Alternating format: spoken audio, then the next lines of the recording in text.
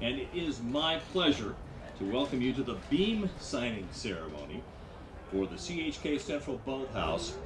And thanks so much for being here to help us celebrate this uh, marvelous milestone today. Something we've been waiting for for a little while. We have the weather cooperating with us. The first time we tried this, I think it was a little bit uh, icy. We're just glad it wasn't yesterday that we rescheduled for, and uh, today we're, we're glad to see the sun shining and, and all of you out here this afternoon. On behalf of the University of Central Oklahoma, it's my pleasure to welcome you to the, uh, the beginning, the next step in the fulfillment of a dream. A demonstration of the power of common vision, collaboration, generosity, and in many ways, another new beginning for this dynamic metro. We are so pleased to be part of the story of Oklahoma City and the state of Oklahoma. We have so many people to thank. Those have been participating in our Always Central campaign. We had two major bricks and mortar projects, and one of them was this boathouse.